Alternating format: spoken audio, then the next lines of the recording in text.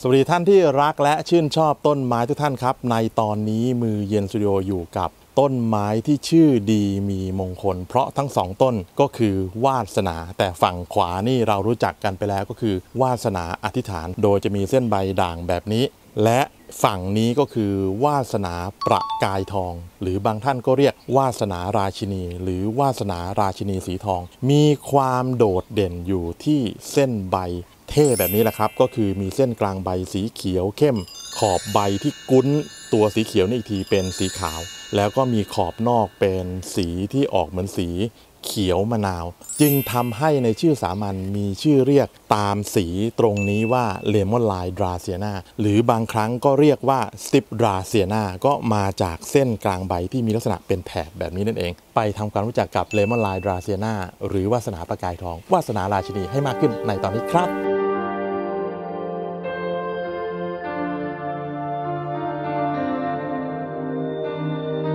ทั้งวาสนาอธิษฐาน และวาสนาราชินี หรือวาสนาประกายทองล้วนแต่เป็นต้นไม้ที่มีลำต้นแข็งแรง และลำต้นเหล่านี้ก็ทำหน้าที่ในการเก็บสะสมอาหารทำให้เป็นต้นไม้ที่มีอายุยืนยาวหลายปี แล้วก็ขึ้นชื่อว่าเป็นต้นไม้ที่มีการขยายพันธุ์ได้ง่ายมากๆ โดยเพียงการอาศัยการทำการปักชำโดยการตัดเป็นท่อนๆนำไปปักชำก็สามารถทำได้ทั้งวาสนาประกายทอง และวาสนาอธิษฐาน ล้วนมีชื่อวิทยาศาสตร์เดียวกันว่า Dracaena fragrans ซึ่งคำว่า Dracaena หรือสกุล Dracaena นี้ก็มาจากรากศัพท์ในภาษากรีก ซึ่งมีนัยยะหรือมีความหมายถึงมังกรเพศเมียสำหรับ fragrans หรือชื่อชนิดพันธุ์ก็หมายถึงความหอมหรือมีกลิ่นหอม หลาย ๆ ท่านที่มีโอกาสได้เห็นดอกของวาสนา ก็จะรู้ว่าดอกที่เป็นช่อยาวนั้น มีกลิ่นหอมที่หอมนวลมาก ๆ เลยครับ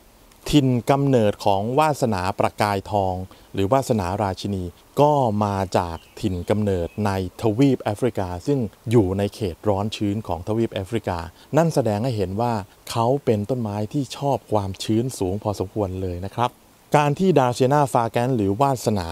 มีใบกว้างเช่นนี้ ก็เพราะว่าถิ่นกำเนิดหรือสภาพธรรมชาติที่เขาอยู่ภายใต้ร่มไม้ใบบัง การที่มีใบกว้างแผ่ออกมาเช่นนี้ทำให้มีพื้นที่สังเคราะห์แสง สร้างอาหารแล้วก็นำไปเก็บสะสมไว้ในลำต้นได้ดีมากๆ ระบบรากก็เป็นระบบรากฝอยที่แข็งแรง สามารถแพร่กระจายไปบนพื้นผิวดินที่มีการหล่นทับลงมาของเศษใบไม้ แล้วก็กลายมาเป็นอินทรีย์วัตถุให้กับตัววาสนา ได้เป็นอย่างดี ก็จึงทำให้เขาชื่นชอบดินปลูกที่มีอินทรีย์วัตถุสูงๆนะครับ อันนี้จำเป็นมากๆ เราเรียนรู้อุปนิสัยของเขาจากถิ่นกำเนิดที่มาของเขานั่นเองครับ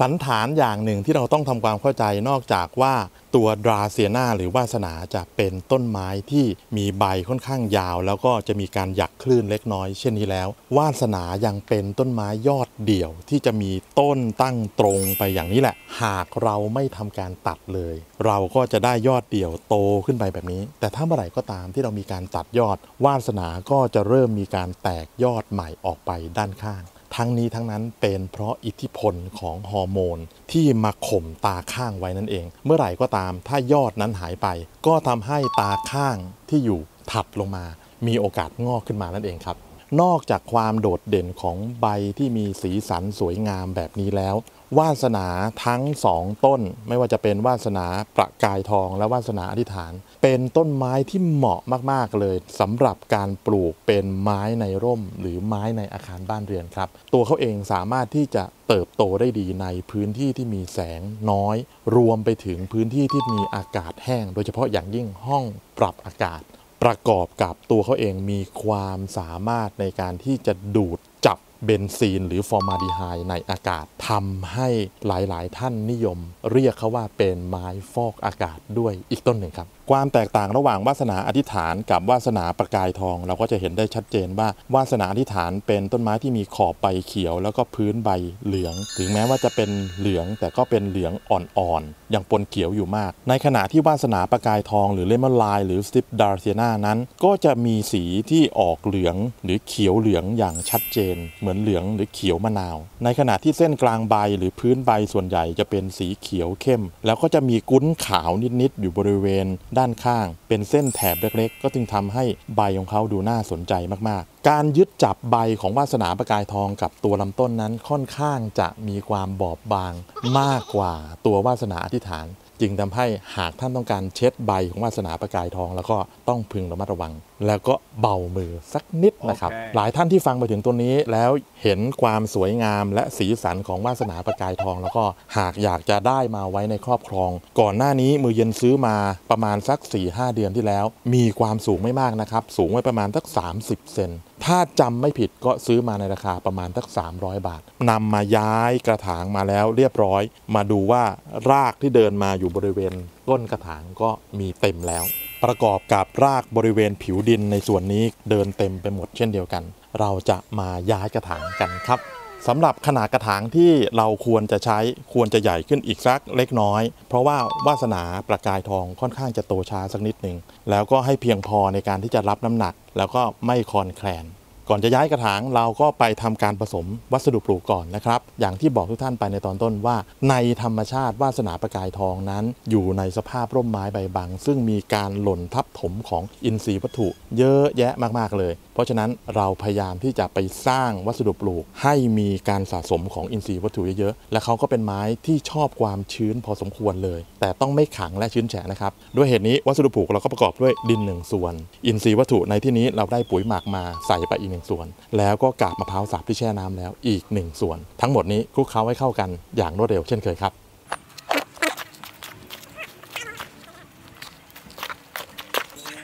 เราก็เติม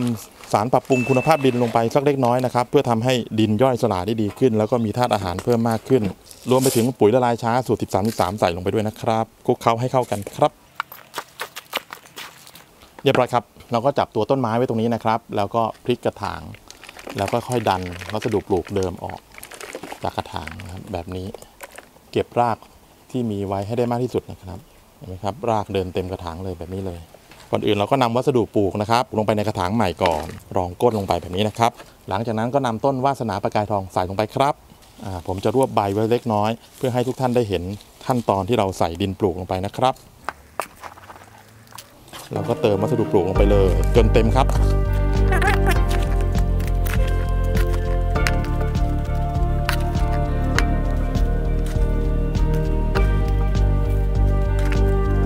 เว้นขอบกระถางไว้สักหนึ่งนิ้ว ตามขอบที่ผู้ผลิตกระถางมาร์กไว้นะครับ เป็นระดับความสูงที่เหมาะสม แล้วก็ไม่เกินเขตรูทโซน ที่วาสนาประกายทองมีนะครับ เมื่อเราปลูกลงในกระถางใหม่แล้ว พื้นที่ปลูกก็สำคัญมากๆ พื้นที่ในการจัดวางเนื่องจากว่าในที่นี้เราปลูกเป็นไม้กระถาง เราจะนำไปไว้ในพื้นที่ร่มรำไร เรียนแบบธรรมชาติที่เขาอยู่ เขาไม่ชอบการโดนแสงแดดโดยตรงนะครับ เพราะว่าใบค่อนข้างบอบบางพอสมควร ใบที่ค่อนข้างบอบบางนี้หากโดนแสงแดดโดยตรง ก็มีโอกาสที่จะเกิดความเสียหายเกิดเป็นรอยไหม้ได้ ก็ไม่ควรโดนแสงแดดโดยตรงนะครับ แต่เติบโตได้ดีในพื้นที่ที่มีปริมาณของแสงจ้าฟุ้งกระจาย แบบที่เรายืนอยู่กันตรงนี้ ก็คือสามารถจะมองเห็นรายละเอียดของใบได้อย่างชัดเจน แต่ไม่โดนแสงแดดโดยตรงนั่นเองครับ สำหรับเรื่องการดูแลรักษาเริ่มต้นจากการให้น้ำก็สามารถจะให้น้ำได้ทุกวันวันละหนึ่งครั้ง หากท่านใช้วัสดุปลูกที่มีการเก็บสะสมความชื้นดีพอสมควรแบบที่มือเย็นใช้ในวันนี้ เพราะว่าเคล็ดลับอยู่ที่กาบมะพร้าวสับในการช่วยเก็บรักษาความชื้น แต่ไม่ควรจะให้ชื้นแฉะจนขนาดที่เอาเอาหลังนิ้วมือแตะลงไปที่บริเวณผิวดินก็มีน้ำ ติดเข้ามาที่หลังนิ้วมือ อันนี้เป็นความชื้นที่ใช้ไม่ได้เลยนะครับสำหรับปุ๋ยที่จะใส่เติมลงไปก็แนะนำสองอย่างครับ อย่างแรกก็คือปุ๋ยคอกใส่ได้ทุกเดือนเลย เดือนละหนึ่งกำมือในขนาดกระถางขนาดนี้ เราก็ใส่แล้วก็โรยไปที่รอบๆโคนต้น ปุ๋ยอย่างที่สองที่อยากให้มีติดบ้านไว้เลย ก็คือปุ๋ยละลายชาสูตร 13 13 13 หรือถ้าเป็นหลากหลายยี่ห้ออาจจะเป็น 14 14 ก็ไม่เป็นไรนะครับให้มีไนโตรเจนฟอสฟอรัสและโพแทสเซียมอย่างเท่า ๆกัน เพราะโดยปกติแล้วต้นไม้ที่เน้นการเจริญเติบโตทางใบและลำต้นส่วนใหญ่จะใช้ธาตุอาหารไนโตรเจนฟอสฟอรัสโพแทสเซียมเหล่านี้ค่อนข้างมาก และในดินจะขาดเราก็ควรเติมลงไปนะครับ ถ้าปุ๋ยละลายช้าโดยปกติก็อยู่ได้ประมาณสัก 6 เดือนเลย แต่เราอาจจะอาศัยการเติมเพิ่มเข้าไปสักเดือนละหนึ่งหยิบมือ เพื่อให้เขามีธาตุอาหารเจริญเติบโตอยู่ หนึ่งเนืองนั่นเองครับ เป็นธรรมชาติของวาสนาประกายทอง แล้วก็วาสนาโดยทั่ว ๆ ไปเลย จะมีการทิ้งใบล่างเป็นประจำเลยนะครับ เราจะสังเกตได้ว่าสีของใบเดิมกับสีของใบใหม่ เป็นสีที่มีความสดใสต่างจากกันมาก ๆ แล้วก็จะเริ่มมีร่องรอยการไหม้การถูกโจมตีโดยเชื้อรา หรือเชื้อโรคบางชนิดบ้าง รวมไปถึงการที่เขาพยายามจะทิ้งใบเองบ้าง ในธรรมชาติเราจะเห็นวาสนาประกายทอง หรือวาสนาต้นอื่น ๆ จะมีการทิ้งใบจนแห้ง ถ้าไม่มีการปลิดทิ้งไปเราก็จะเห็นแน่แห้ง ใบแห้งเป็นชั้นๆๆๆ ขึ้นมาเลยนะครับในการที่เราเลี้ยงในบ้านเรือน ก็ควรจะมีการปลิดใบเหล่านี้ออกบ้างจะทำให้ต้นเขาดูโล่งขึ้น ไม่เก็บสะสมโรคนะครับเราก็ใช้วิธีการปลิดลงแบบนี้ง่ายมากๆครับโดยเฉพาะอย่างยิ่งวาสนาประกายทองซึ่งค่อนข้างจะบอบบางของวาสนาพันธุ์อื่น ๆ เราก็สามารถที่จะปลิดใบลงแบบนี้ได้เลยนะครับแบบนี้นะครับและรวมไปถึงใบนี้ที่มีปัญหามาก ๆ เห็นไหมครับ จะมีการทิ้งใบ มีร่องรอยการเข้าโจมตีของเชื้อโรค แล้วก็รวมไปถึงความพยายามของตัวเขาเองที่พยายามจะทิ้งใบด้วยนะครับ ก็จะเป็นแบบนี้แหละเป็นตามธรรมชาติเลยนะครับ เพราะฉะนั้นไม่ต้องตกใจที่ใบเขาไม่สวยงามแบบเช่นเดิม เราก็เลี้ยงดูใบที่อยู่เหนือขึ้นมาต่อๆมา เช่นนี้ครับสำหรับโรคแมลงที่มีโอกาสเข้ามาทำลายวาสนาประกายทอง ก็อาจจะเป็นเพี้ยแป้ง หรือเพลี้ยต่างๆ ที่เข้ามาดูดกินน้ำเลี้ยงโดยเฉพาะอย่างยิ่งในช่วงนี้ช่วงฤดูฝน เป็นช่วงที่มีการแพร่ระบาดพอสมควร ก็อาศัยการสอดส่องดูแล ถ้ามีไม่มากก็จับออกนะครับ ถ้าหากมีเยอะ มากสักนิดนึง ยังพอสามารถจะควบคุมได้ก็ใช้สารสกัดจากสะเดา ฉีดพ่นแรกก็จะได้ผลอยู่นะครับ อย่างไรก็ตามการปลูกเลี้ยงวาสนาประกายทองในพื้นที่ร่มนานๆ ไม่เป็นผลดีต่อวาสนาประกายทองเลยนะครับ เพราะว่าเราจะเริ่มเห็นกิ่งใบของเขาเนี่ยเริ่มห้อยย้อยปลกลง แล้วก็เนื้อใบบางลง รวมไปถึงสีของใบที่มีความแตกต่างกันแบบนี้ เริ่มเห็นมีสีเขียว นั่นแสดงว่าคลอโรฟิลล์กำลังเริ่มทำงานนะครับวาสนาประกายทองผลิตคลอโรฟิลล์มากขึ้น เพื่อให้มาช่วยกันสังเคราะห์แสง นั่นเป็นสัญญาณที่ไม่ดีแล้ว เราควรจะนำเขาออกมา การย้ายออกมาให้รับแดดในที่นี้ไม่ใช่รับแดดโดยตรงนะครับ ออกมารับแสงที่มีปริมาณมากขึ้น โดยค่อยๆ ขยับออกมาจากเดิมที่เขาเคยคุ้นชินอยู่ในพื้นที่ร่ม ก็ย้ายขยับออกมาบริเวณระเบียงบ้านที่มีแสง ส่องเข้ามาไม่ถึง แต่ว่ามีคุณภาพของแสงจ้ามาก ๆ ก็จะทำให้เขาสามารถเจริญเติบโตได้ดีขึ้น เพราะมีปริมาณแสงที่ใช้ในการส่องเคราะห์แสงได้มากขึ้นนั่นเองครับ หากท่านกำลังมองหาต้นไม้ในร่มที่มีรูปทรงใบที่ สวยงามมีสีสันสดใส และเป็นต้นไม้ที่เลี้ยงดูง่ายอาศัยเพียงแค่การรดน้ำในทุกๆวัน แล้วก็อวดสีสันความสวยงาม เช่นนี้ต่อไปเรื่อยๆ ได้ยาวๆ ก็วาสนาประกายทองเป็นต้นไม้ที่มือเย็นแนะนำครับ สาระดีๆ ในการปลูกเลี้ยงต้นไม้อย่างเข้าใจอุปนิสัยของต้นไม้นั้นๆมีเป็นประจำที่มือเย็นสตูดิโอนะครับเชิญชวนทุกท่านที่รักและชื่นชอบต้นไม้ กด subscribe ติดตามมือเย็นไว้นะครับ และถ้าท่านอยากรู้ว่ามือเย็นอัพคลิปใหม่ ๆ หรือยัง ก็เชิญชวนท่านกดกระดิ่งแจ้งเตือนไว้ด้วยนะครับ เพราะเมื่อทุกครั้งที่มือเย็นอัพคลิปท่านจะได้รับสาระดีๆ นี้ก่อนใคร และถ้าหากท่านมีญาติสนิทมิตรสหายที่กำลังสนใจอยากจะปลูกวาสนาประกายทอง หรือวาสนาราชินี เชิญชวนทุกท่านแชร์คลิปนี้ให้เขารับรู้ด้วยคนนะครับ ในตอนนี้วาสนาอธิษฐาน วาสนาประกายทอง หรือวาสนาราชินี ขออนุญาตลาไปก่อนนะครับ พบกันในตอนต่อไปครับ สวัสดีครับ